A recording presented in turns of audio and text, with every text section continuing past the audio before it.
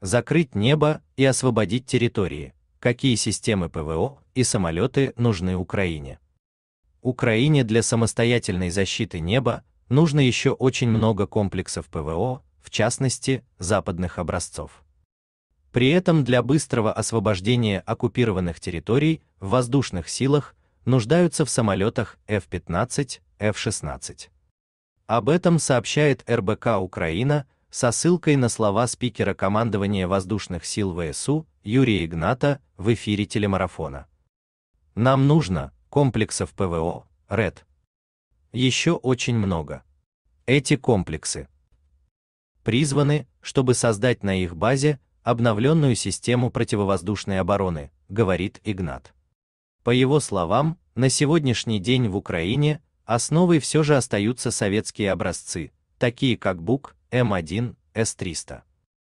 На САМС и Айрис-Т, которые очень эффективно работают на линии огня, то есть прикрывают воздушное пространство, их есть, к сожалению, в ограниченном количестве.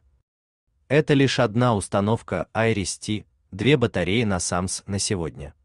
Эти системы призваны заменить старое вооружение, которое у нас еще осталось от Советского Союза, отметил Игнат.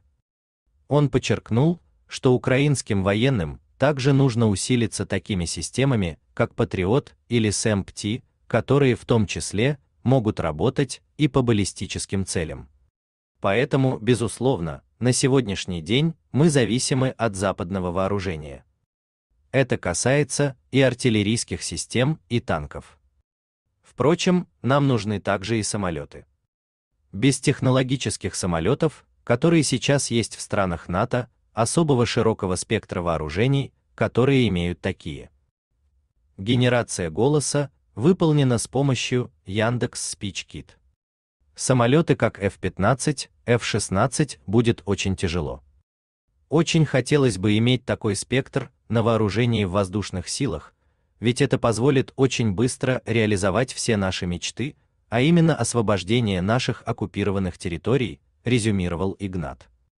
Напомним, после падения ракет на польской территории глава Минобороны Польши Мариуш Блащак и глава правящей партии Ярослав Качинский предложили Германии разместить Патриот в западной части Украины.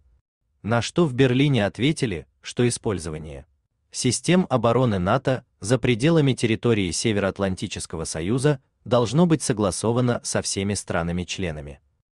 После генсека НАТО Йонс Столтенберг заявил, что передавать Украине те или иные системы ПВО или нет, решать правительствам стран. Германия же заявила, что обсуждает запрос Польши о предоставлении Украине систем Патриот. Срочные и важные сообщения о войне России против Украины читайте на канале РБК Украина в Телеграм.